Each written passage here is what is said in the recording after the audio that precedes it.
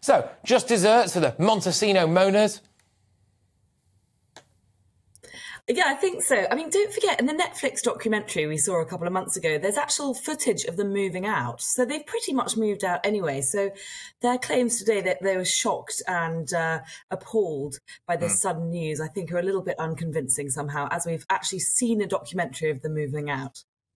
Yes, indeed. And sorry, but what do they expect? They were gifted something that most people would give their left arm for. People would sell their relatives for a house like that. And then they decide to make the Queen's life miserable in her final moments, Prince Philip's life miserable in his final moments. They stick two massive fingers up at our new king and the future king, and then they're shocked, are they, when they lose the house?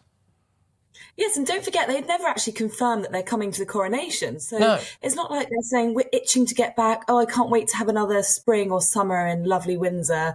You know, they've never actually confirmed that they're going to be back. So when are they next going to stay at this place?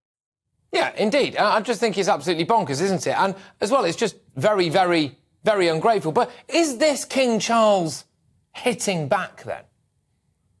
I think so. It happened um, the day after Spare was released, not in the days after, the day after. So it does feel like that, doesn't it? And also, we've had quite a lot of this narrative that Charles is very sympathetic towards his son and he loves his son, and he, you know. But now it's time for him to be a monarch, and there have been a slight, there has been a slight feeling that it is time for him to become a monarch and start taking some action, and that's what he's doing. And I can't help wondering whether William might be encouraging some affirmative action. And don't forget, William's sort of his neighbour at Frogmore Cottage because William lives at Adelaide, which is just around the corner. Mm. So he might be saying, Come on, Dad, make a decision because I don't want these two around the corner anymore. No, I, am not surprised. And of course, it's not as if they're short of a few quid, is it? Because that's the price that they've charged for selling their own family and indeed this country down the river. I don't think many people will be shedding a tear tonight to know that Winge and Ginge will not have a place to stay when they come to the UK.